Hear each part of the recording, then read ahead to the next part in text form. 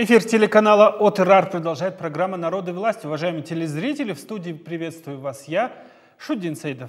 Как всегда, в каждую пятницу к нам приходят представители надзорного органа. И они отвечают на ваши вопросы, уважаемые телезрители. Если они у вас есть, пишите, звоните, мы на них постараемся ответить. У нас сегодня в гостях прокурор а, Туранского района Жасулан Адельбайл. Хош келдіңіз.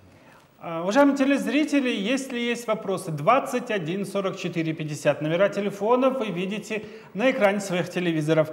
Мы также вещаем сейчас в прямом эфире на официальном аккаунте в, Instagram, называется он open.shimkent, а также мы вещаем на официальном аккаунте прокуратуры по третьему мегаполису. В Instagram называется он а, Шимкент, Про- Шимкент, нижнее подчеркивание, прокуратура. Там тоже можете оставлять свои сообщения, мы их будем зачитывать. И хочу отметить, что в студии сейчас находится также пресс-служба прокуратуры, которая будет в Инстаграм на ваши вопросы по возможности тоже отвечать. А, Итак, мы начинаем наш эфир. А, Жаслан Мырза, хотелось бы узнать, вот э, район сравнительно недавний у вас, да? И какие у вас сейчас статистика, какая по преступлениям? Көп па, аз ба, қандай қылмыстар болады? енді біріншіден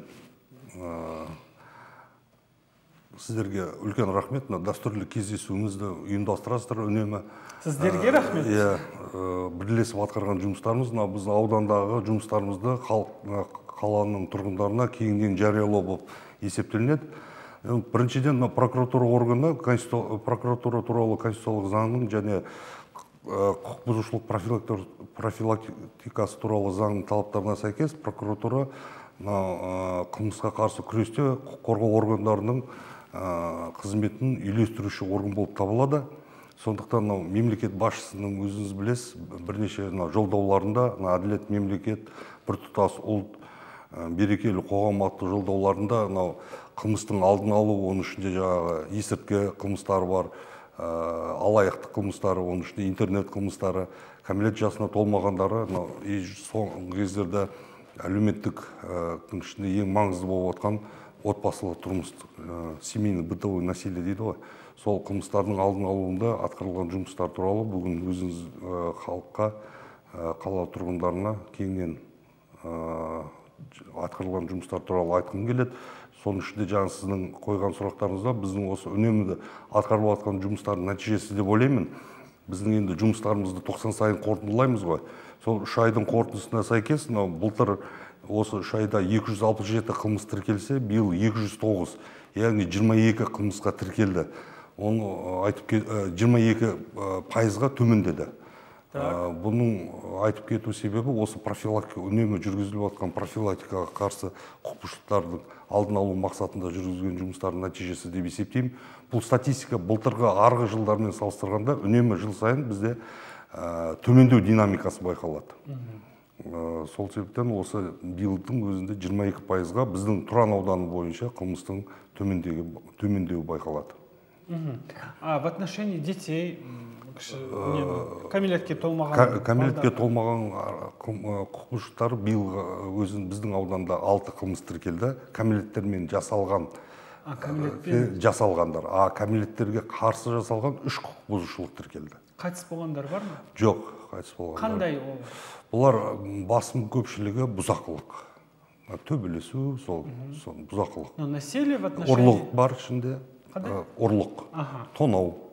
Орысша айтқанда грабеж дейді сол қылмыстары бар Расулан Мурза, а, много сейчас а, обсуждается в связи с тем, что вот громкое дело Бишимбаева идет, бытовое насилие, оно, можно сказать, топ-тема номер один.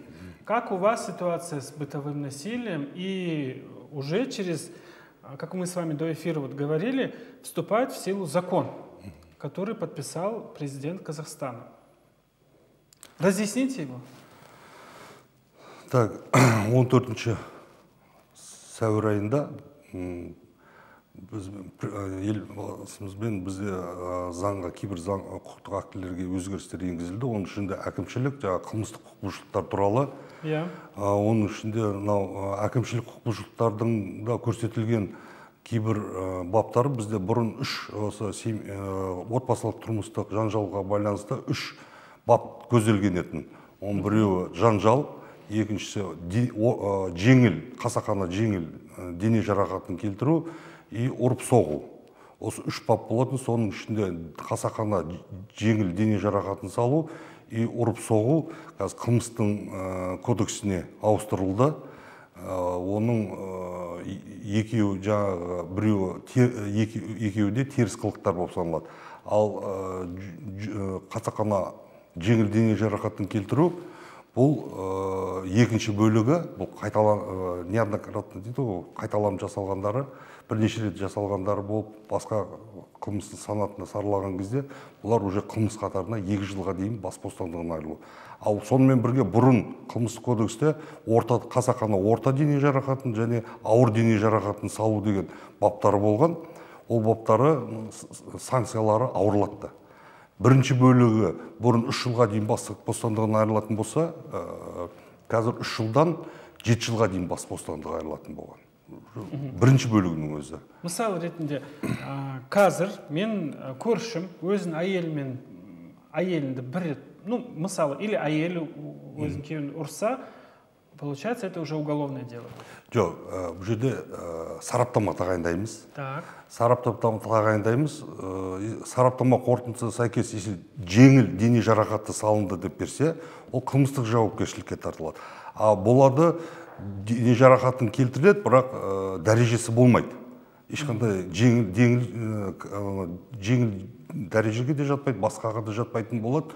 Олар ондай қорытындысына сәйкес бұл ұрып соғу болып саналады. Бұл әкімшілік а ол да ұрып соғу ол да қылмыстық теріс қылық болып саналады қылмыстық кодексінде.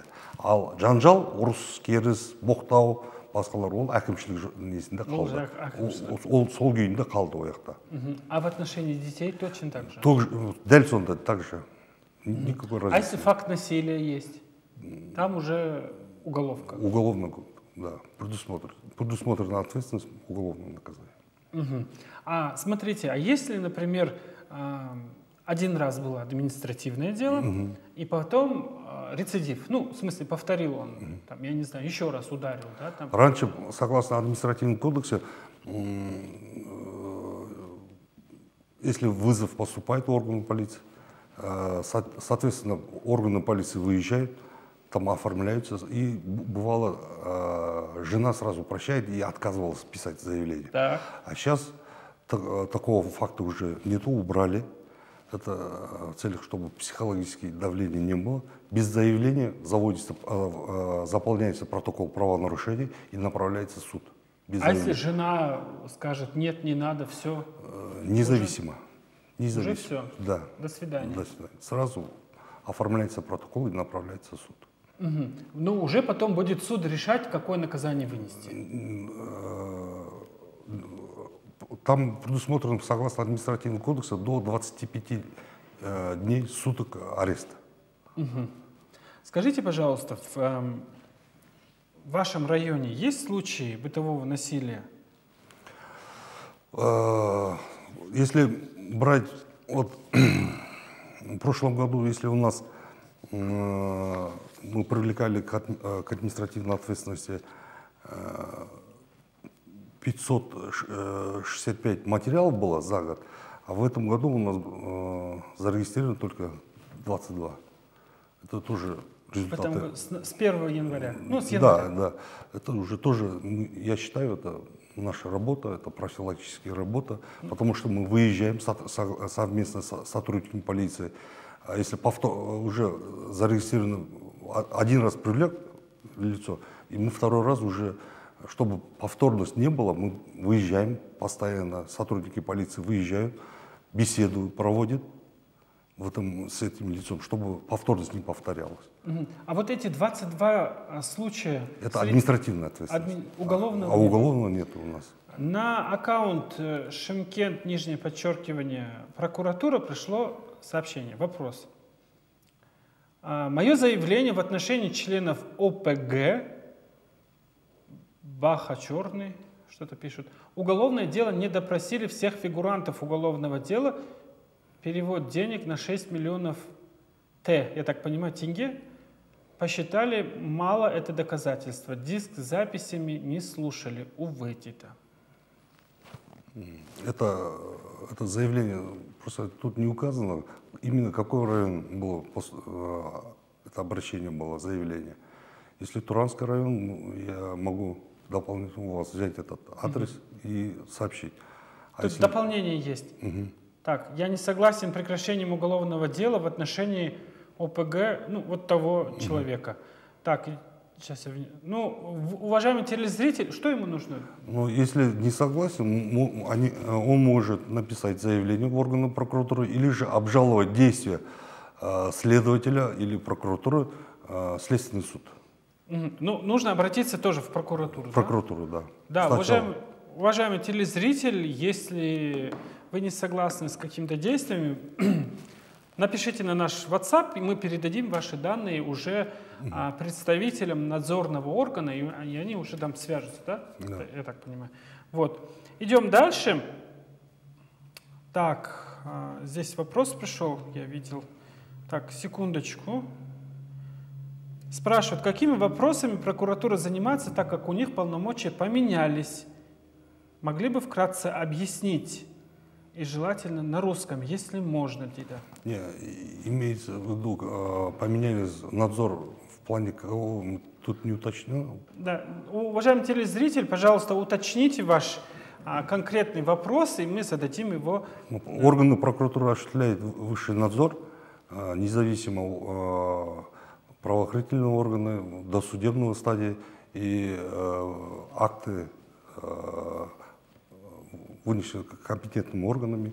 Так, ор, у нас полномочия также остался, чтобы у нас такого информации нет, чтобы поменялось. Ну да. А, идем дальше. А, спрашивают, скажите, пожалуйста, что делать а, с теми, кто ездит на мопедах?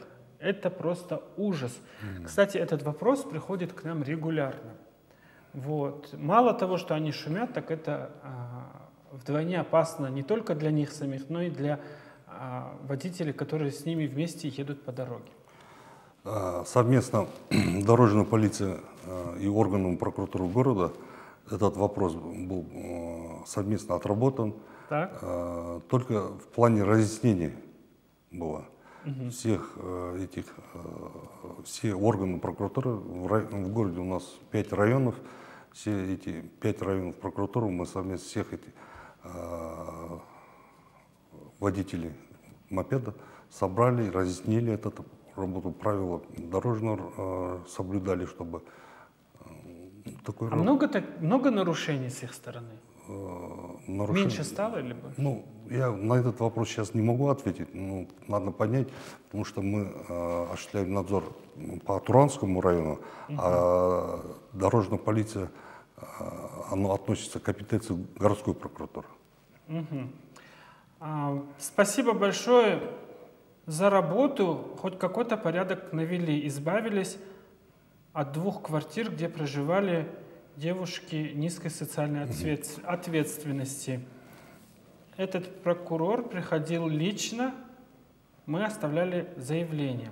Ну, кто-то не, не, опис, не объяснили, где именно. Вообще много у нас суточными квартирами проблем? Суточные квартиры у нас по Туранскому району это восьмой микрорайон. Расулан Мурза, я прошу прощения, у вас территория центральной части? Нет, есть и окраин. Окраин тоже есть? Есть, да, окраин угу. тоже есть. А, у нас э, в основном занимается это суточные квартиры 8 микрорайон и по проспекту Республики.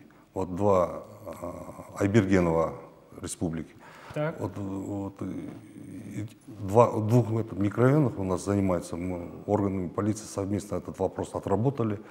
И до сих пор работаем этот вопрос постоянно, потому что э, тяжкие, особо тяжкие преступления, убийство, насилие, насилие вот, изнасилование вот, происходит вот в этих, таких квартирах у нас. Да. Ну, э, у нас вопрос, вопрос.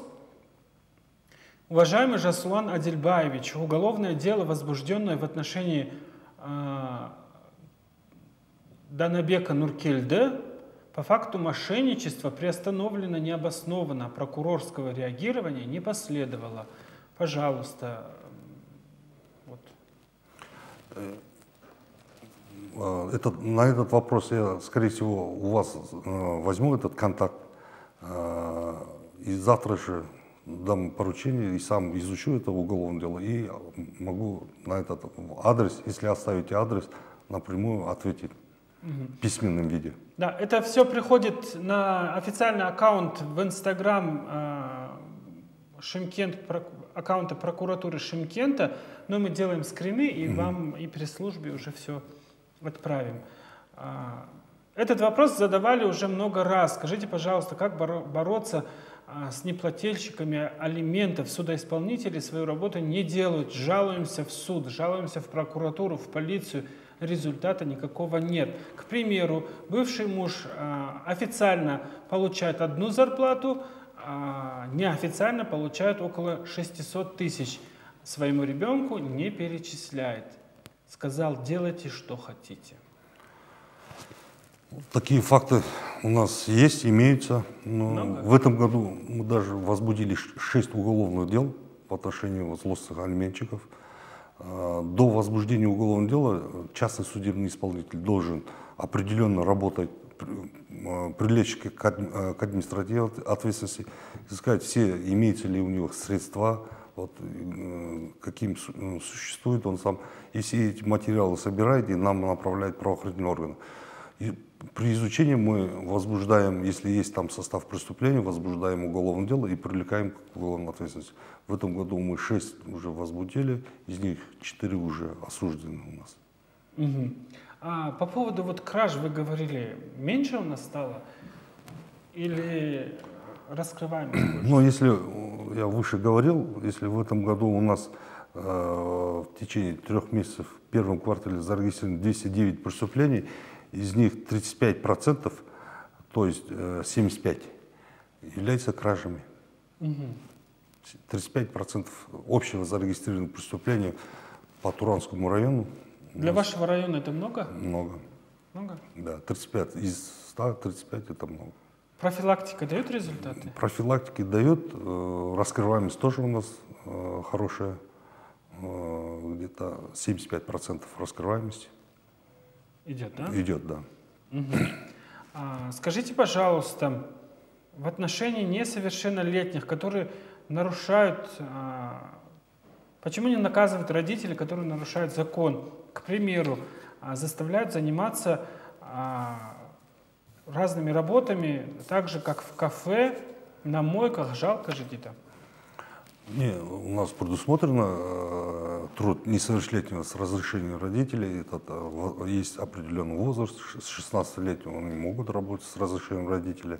Такого запрета, чтобы несовершеннолетние не работали, у нас нет. Но у, э, условия работы должен там соблюдаться. Правила, да? Да. часы определенные, меньше. А вот хороший вопрос по профилактике среди несовершеннолетних. В этом году, э, почему мы привлекли, вот э, после, вот, э, воспользуясь этот передачу, қазақша сағат оннан кейін түнде бізде әке шешелердің немесе представительдердің қатысуымен түнде жүруге болмайды. Бізде сол себептен биылдың өзінде біз 35 әке шешені әкімшілік жауапкершілікке тартылдық. 200 мың теңгеге жуық. Айыппұл төленеді. Ал ойын саулық мекемелерін анықтайтын болсақ ол кәсіпкерлердің өзі жауапкершілікке тартылды. Биылға 33 кәсіпкер жауапкершілікке тартылды. Олардың айыппұлдары 500 мың теңге. Яғни соларда ойын жаңағы игровые клубы там, кафе сондай ночном виде без сопровождения старших жүретін болса мы привлекаем их тоже. Вопрос. А скажите, пожалуйста, как разграничить мошенничество от гражданско-правовых отношений? Актуальный вопрос, они ведь очень схожи между собой. Какие есть четкие разграничения, чтобы знать отличия? Во-первых, это в первую очередь умысел. А, во-вторых, это если у нас конкретно по статье 179 а, Уголовного процессуального кодекса имеется, в каких случаях мы регистрируем так. базу РДР, э, преступления. Угу. Если двухсторонние имеются договора, нотариальные э, Заверенные. заверенные, или же не заверенные, или расписка. В таких случаях у нас э, запрещается регистрировать в РДР, базу РДР. Если есть. Если есть. Да, если есть договора. Ага. Двухсторонний договор, расписка, э, не нотариальный- регистрируете. Тогда мы не регистрируем. Ста- До, э, если, э, чтобы регистрировать, надо сначала подать они в гражданском порядке в суд и признать эти договора или нотариальные действия все мнимыми или притворными. После чего, после решения суда, мы э, этот, э, базу э, ре- регистрируем и возбуждаем уголовное дело. Ну вот, допустим, смотрите, я беру у вас, ну, допустим, беру у вас в долг 50 тысяч тенге. Имеется расписка? Не имеется. Не имеется. Не имеется. Говорю, что отдам вам через неделю. Проходит неделя, нет ни меня, ни денег. И вы спрашиваете. Гражданское это правоотношение. То есть все, можно забыть о деньгах. Да. Это, не, почему? Вы имеете право подать в суд в гражданском порядке. Вы подаете в суд. Нет. Именно лицо, которое...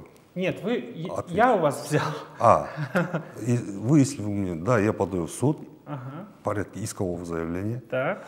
и в судебном порядке, э, на, на основании решения суда взыскиваем эти долги. Все. Так, а, понятно. А если есть расписка, Независимо, расписка или ну, двухстороннее, э, даже устное наше согласие, это считается как договор. Устное. а как вы докажете, что я у вас взял 50 тысяч, а не 30 тысяч? Или это уже су- в суде будет? Ну, суд- в суде доказывается это. Там участие прокурора не обязательная категория. В суде доказывается, ну, имеется там переводы денег на Каспий на Каспий. Может быть, свидетели там присутствовали. Эти все и, э, дается это, доказательную базу играет. А если доказа... вот, э, доказали, что я у вас брал, какое наказание за это? В гражданском порядке наказания не бывает. Не- не- Только э, решение взыска... взы- Медиативное? Да, взыскивается с вас, а последующий судебный исполнитель работает, э, ищет, какие у вас источники дохода, а то то взыскивает. Жасулан Мирза, а здесь суммы варьируются? Например, там до 500 тысяч э, там наказания нет. А если, например, А, взял нет. миллион и... Нет, такого нет. Нету, да? Да. Понятно. Такого. А уголовное дело, в уголовное, а, когда это переходит? Именно вот долг? Да. Нет, эта категория уголовно не относится до долги. Теперь по мошенникам. А, Мошенничество одно из таких тем, которые уже, наверное, приелось всем. Но как работали мошенники, они еще больше стали умудряться и в ногу со временем идут. К примеру, недавно был случай, когда голосом нашего коллеги а, голосовые сообщения отправляет человек и просит занять определенную сумму. Но так как каждую пятницу и в среду здесь у нас юридические консультации в прямом эфире, мы, естественно, начали перепроверять. Оказалось, что это неправда. Их можно выявить? Ну, у нас в департаменте полиции города есть отдел э, по борьбе вот, интернет-мошенничеством. Вот они занимаются, у них есть Кибер. специальный, да, кибер Отдел. отдел. Э, Там у них специальное устройство имеется. Ну, в основном э, раскрытие они занимаются. Ну, В данном случае ваши, э, вот этот Коллега. случай, коллеги, да, э, по WhatsApp приходит сообщение под незнакомым номером. Там длинный зарубежный номер. Если вы откроете, там эти хакеры сразу же, с- сколько у вас имеется друзья, ну, э, памяти адреса, туда сразу же направляется сообщение. Вы даже сами не заметите, как они направляют. Долг просит с вашего контакта WhatsApp направляет вашим друзьям. Если откроешь. А если откроешь? Вот. Вот такие виды у нас имеются. То есть теперь говорят не только голосом президента и Да. внешностью, но и Да. всех людей. Ну, раскрытие это, у нас, вы слышали, да, в последнее время, что в Украине там большие две группировки раскрыли, совместно правоохранительные органы Казахстана и э, А, да? Украины, да. Наконец. Ну, исто- источники за рубежом у нас в основном, эти деньги уходят туда. Вопрос. Как подать в суд на человека? Расписка есть, но, адрес, но адреса, места жительства не знаю. Адрес, место жительства вы можете э, обратиться в органы полиции, чтобы установить, ну, заявлением обратиться. Они могут вам э, адрес все этот установить, в последующем вы будете на, а, этот, обращаться в суд в исковом порядке. Итак, дальше. Сізге қалай жолықсақ болады прокурор мырза? Біздің ә, мекен жайымыз аха біздің мекен жайымыз мынау республика даңғылы гүлжанға қарама қарсы ғимаратта отырамыз. Ә, сол жерде ол жерде бізбен бірге төрт аудан отырады әл фараби еңбекші абай и тұран осы төрт ауданымыз. Сол мекен жайымыз бір жерде. сол жерге келсе біз күнделікті жұмыс уақытысында сол жақтамыз қабылдау уақыты қабылдау күнделікті бізде күнделікті күнделікті Уважаемые телезрители, если у вас есть вопросы, пишите, звоните. Мы работаем в прямом эфире, вещаем сейчас не только в эфире телеканала Отерара, также на официальных аккаунтах прокуратуры Шимкента и в Инстаграм. Аккаунт называется open.shimkent. Если есть вопросы, пишите, звоните. А, прокурор Туранского района сегодня отвечает на все интересующие вас вопросы. Такой а, самый частый вопрос, который к нам приходит от телезрителей наших и жителей, вообще жителей города. Скажите, пожалуйста, а, вот эти суточные квартиры, которые сдают, сейчас за ними контроль кто осуществляет? Налоговый, ну, налоговый орган. Угу. Они должны, во-первых, э, занимаются ли предпринимательской деятельностью законно или нет, зарегистрированы ли у них. Қазақша. Да, тіркелген ба кәсіпкер ретінде индивидуальный ип дейді ғой ашылған ба ашылмаған ба сол жағы салық төленген ба төленбеген ба сол жағымен сосын ә, біз ол жерде жаңағы құқық қорғау органдары полиция органдары олармен кездесу арқылы соларға шығу арқылы көру арқылы кәмелет жасқа толмағандарды кіргізбеу басқа құжаттарын тексеріп арқылы кәсіпкерлердің айналысқандарын осындай профилактикалық жұмыс жүргіземіз болды. Прокурор мырза кадровый бизнес дейді прокуратураға қалай жұмысқа тұрсақ болады дейді? Бізде енді ондай қазір прокуратурада органында ондай жоқ кадровый бизнес деген. Бізде прокуратура органына кіру үшін біріншіден мемлекеттік тестті тапсыру қажет. Екіншіден осы жерден іріктеуден қалалық прокуратурадан іріктеуден өтіп біз астанада құқық қорғау академиясы бар. Сол жақта емтихан тапсырылып сол жақта бір жыл оның ішінде алты ай сабақ оқиды алты айы тәжірибе практика ретінде өтеді. Сөйтіп барып соңғысында бір жылдық курсын біткеннен кейін қайтадан несін емтиханын тапсырып қолына сертификатын алып бас прокуратураның бұйрығына сәйкес қазақстанның түкпір түкпіріне тағайындалуға а егер де жақсы беспен оқып бітірген жағдайда олардың өзінің қалауы беріледі қай қалада қай елді мекенде жұмыс жасауға үміткер болса оған өзіне сондай мүмкіншілік береді. Қай жерге жақсы оқығандарға қызылмен бітіргендер деп айтсақ болады. Ал қалғандарын прокуратура бас прокуратура оларды тағайындайды. Қалалық прокуратура облыстық прокуратура қазір қызметкерлерді тағайындамайды. Жасұлан мырза скажите пожалуйста а нет ли нехватки сотрудников в надзорном органе? Бізде мен енді бұл вопросқа айтуға жоқ айта алмаймын өйткені кадрлық қалалықта а біздің тұран ауданында вакансия жоқ. А басқа аудандарда бар ал солтүстік қазақстан мынау қарағанды облысы жезқазған облысы батыс қазақстан өскемен деген сияқты ол жақта вакансиялар көп менің білуімше. Өйткені олардан да бізге хаттар келіп түсіп жатады. Келіңдер бізге келуге келіңіздер пәтермен басқамен қамтамасыз етеміз. Кто захочет из шымкента уезжать вот скажите пожалуйста президент страны тоже сказал наводить порядок везде в каждой сфере. Как у вас с борьбой с коррупцией идет. Угу. Нет ли жалоб на ваших сотрудников? биылға и былтырда біз енді тұран ауданы прокуратурасы ашылғанына бір жылдан астам уақыт өтті ғой ондай фактілер бізде болған жоқ біздің құқ- ә, қызметкерлеріміз арасында өйткені біз онымен өзім күнделікті жұмыс жасап отырамын айтып отырамын оларға ескертіп отырамыз себебі өзіңіз белгілі өзіңіз менің қарамағымда қызметкерім ә, ондай құқық бұзушылықпен или қылмысқа ә, жол берілген жағдайда бірінші очередь бірінші кезекте мені қызметтен босатады. Менің бірінші басшы кетеді сол себепті сол себепті ондай болмау мақсатында мен оны күнделікті өзім жолмен жұмыс жасаймыз. Бізде полиция органында болды олардың басшылары жұмыстан кетті. Сол себепті полиция органында сөйтіп жұмыс жасайды.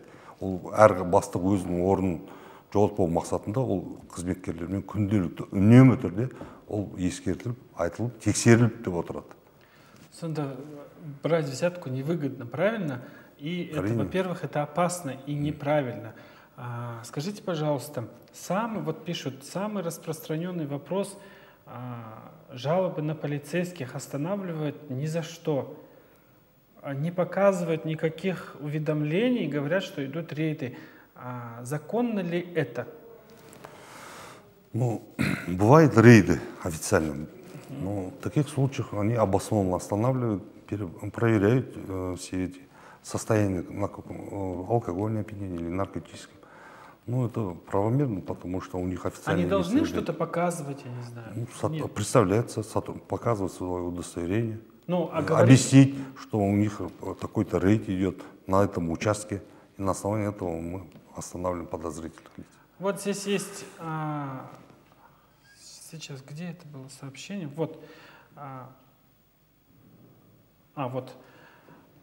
В ночное в увеселительное заведение заходят и говорят, что рейд участковый, и вместе с ним в гражданской представился тоже полицейским. А, имеют ли они право заходить в кабинки и говорить, что проводится рейд? Сотрудники полиции якобы. А в гражданской форме Да. Ну, во-первых, рейды в гражданском форме э, запрещаются. У нас дол- должны они иметь форменную одежду и э, показывать эти приказ. И, Приказ обязательно. Да, показывать, и на основании этого они заходят в заведение. У нас, мы, я выше говорил же, несовершеннолетних мы выявляем после 10, которые они там сидят в усилительном заведении. Или же сейчас после э, кальянной запрещается вот, запрет на кальян. Тут такие факты выявляют, А проверяют. вообще есть рейды на кальян? У нас нету, но у нас есть рейды насчет спиртных изделий. После 10 запрет на продажу, а у нас в этом году даже ну, первом квартале мы ш- 78 фактов выявили сотрудники полиции э, продажу алкогольной продукции после 10. Мгм. И, Наказали. э, всех, э, все эти материалы направлены в суд. И, если не ошибает память, 40 МРП это где-то 150, около 150 тысяч штраф накладывается судом. Да. Тут еще спрашивают, и наши коллеги спрашивают, а какие вы громкие дела ведете на данный момент? Многим интересно. Громкие дела. Ну, Вы, вы как прокурор Туранского района, вы участвуете в судах? конечно, участвуем. А, прокурор тоже. Поддерживает государственное обвинение э, в лице государства. Вот многие просят спросить, а какое дело ведет сам прокурор? Мы участвуем, а мы осуществляем надзор, расследование занимается следствие, мы э, осуществляем надзор и каждое решение проверяем, э, их законность, обоснованность, утверждаем, согласовываем их решения. Ну, на данный момент у нас громкие дела, ну, Вот. Торговля людьми есть? торговли людьми нету, Нету. Пытки. пытки тоже нету, А не обвиняют- допускаем. А обвиняют ли ваших сотрудников прокуратуры в пытках? Есть такие Нету, случаи? фак- даже полиции органов нет. Полиции нету, Нету. да? Те, кто сидят э, в, в управлениях полиции, РОВД, да? Прокурор, прокуроры. У нас есть факты, которые мы выявили, э, больше трех часов, которые находились в здании А, но это не ровода. Это не пытка, больше трех часов. Вот, вот такие. Ну, Это нарушение консправ. Э, Скажите, пожалуйста, вот взаимодействие надзорного органа с э, полицией, оно налажено сейчас? Обязательно, да, налажено. Э, потому что каждое решение органов полиции нами проверяется и согласовывается и утверждается. Это по трехзвенной модели? По, по трехзвенной модели. И каждый э, их закон проверяется нами. Угу. А нет ли таких случаев укрывательства со стороны полицейских, например, я не знаю, они попытались укрыть от э, прокуратуры какое-то дело? Есть э, путем списания номенклатурного дела, есть факты укрывательства. Нами в этом году выявлено э, таких фактов, э, 9 фактов имеется, нами возбуждено. В основном это кражи, вот такие мошенничества. В ответ что они получили? Наказание? Наказание. Например? Это дисциплинарном порядке, и мы выделяем в отношении них материалов и направляем УСБ материалы, чтобы привлечь, э, возбудить и проверить, на, на, они умышленно или укрыли вот такой факт. И, а там управление собственной безопасности принимает решение. Вопрос, а, который сейчас тоже приходил на Open Shimkent. Вопрос, в отношении чиновников а, есть ли нарушения, которые выявлены сотрудниками прокуратуры? Да, мы, нами в этом году возбуждено уголовное дело. Так. А, управление это сельскохозяйство, это ветинспекция. Так. А, там мы по прокурорской проверке выявили хищение, это около 7 миллионов тенге. Нами возбуждено уголовное дело и направлено, чтобы расследование антикор. Сейчас ведется расследование. Это когда? В апреле месяце. В начале в апреле месяце. Ага. А, а, а вот, ошибаюсь, вот в конце марта мы возбудили. Вы передали в антикор? Антикор. А расследование осуществляет и последующим направляет, передается в суд. А в отношении кого, простите? Ну, сейчас ведется следствие, просто да? не хотел бы огласить. А, ну, ну да, пока да. Руководство, ну, бывшее руководство этого ветинспекции, управления сельскохозяйством. А, управления сельскохозяйством. Угу. 7 миллионов? 7 миллионов, около ну, 7 миллионов. У нас есть телефонный звонок, слушаем вас. Здравствуйте. Говорите. сұрақ қойыңыз құрметті көрермен алло қойыңыз я, я, естілмеді алло қойыңыз сұрағыңызды қойыңыз мен сұрағымды былтыр жиырма үшінші жылы я в прошлом году двадцать третьего не мог машину оформить. Қазақша Что до сих пор российский номер и, и, и это, страховка не дают. Аға, аға қараңыз, бір, бір минут, аға. А, біріншіден, телевизордың дауысын мүлдем өшіріп тастаңызшы, өтініш. Сосын енді қазақ тілінде сұрағыңызды қоя беріңіз. Қиналмай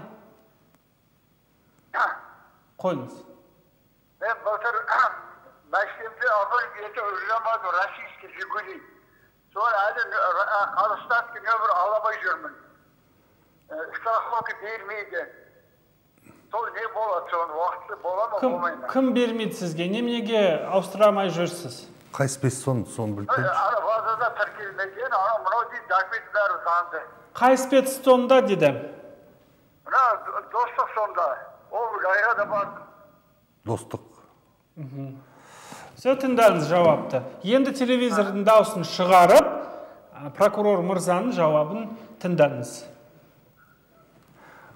бізде жаңа спецсон дейді, дейді ғой машина автокөліктерді құжаттандырылатын бұл бізде, бізде қалада екеу так орналасқан біреуі достықта екіншісі арғымақ арғымақ ол тұран ауданына қатысты а достық бізде қаратау ауданының аумағында орналасқан. Сол себептен бұл достықта болғаннан кейін бұл кісіге ә, бұл мәселемен аудандық прокурорға жазбаша түрде немесе приемына жеке қабылдауына келіп осы мән жайлардың бәрін түсіндіріп арызын тастап кетсе мүмкіншілігі бар. Ол менің әріптесіммен бірге ол өзінің тексеру жұмыстарын жүргізіп жауабын береді. Егер де арғымақ болатын болса тұран ауданы маған келсеңіз болады Рахмет сізге, Жасулан Мырза. Время нашего эфира подошло к концу. На многие вопросы, я надеюсь, что люди получили ответы. Повтор этой программы вы сможете посмотреть в эфире телеканала Отрар, а также уже завтра после 15.00 на официальном аккаунте а, на YouTube Называется он «Отырар». А, Там будет, э, там выложим обязательно этот эфир, и вы сможете получить ответы на все ваши вопросы Рахмет сізге. сізге рахмет сұрақтарды бізге берсеңіз біз официально жауап берейік бұл кісілерге Міндетті түрде эфирден кейін все вопросы перешлем и надеемся, что с каждым разом э, вопросов к прокуратуре и к полиции будет все меньше и меньше. Уважаемые телезрители, берегите себя. Ну а с вами мы встретимся уже на следующей неделе, 13 числа, в понедельник в 20.00. рахмет Música